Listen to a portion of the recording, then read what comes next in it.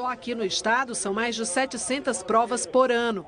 Quem defende a prática diz que ela faz parte da cultura e da economia da região. A vaquejada é algo que está na nossa cultura há mais de 100 anos. A gente tem uma geração de emprego que se fala algo em torno de 600 mil pessoas que dependem é, de certa forma, da economia que a, a vaquejada movimenta. Por seis votos a cinco, o Supremo Tribunal Federal julgou inconstitucional a lei do Ceará que regulamentava a vaquejada como prática esportiva e cultural. A vaquejada é uma tradição em muitos estados do Nordeste e chega a reunir 60 mil pessoas por dia de prova.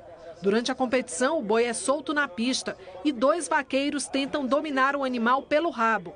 Ele tem que cair entre duas faixas demarcadas na pista. Ele leva o choque elétrico para poder ir para frente. Eles são, têm os chifres cortados para poder não furar os cavalos. Não se pode chamar isso de cultura nem de esporte, porque é uma crueldade. Para o Ministério Público Federal no Ceará, que deu início à ação, o desafio agora é impedir que as vaquejadas aconteçam de forma clandestina. A partir de agora, qualquer vaquejada é crime ambiental e o aparato policial deve reprimir essa conduta, inclusive com prisões em flagrante.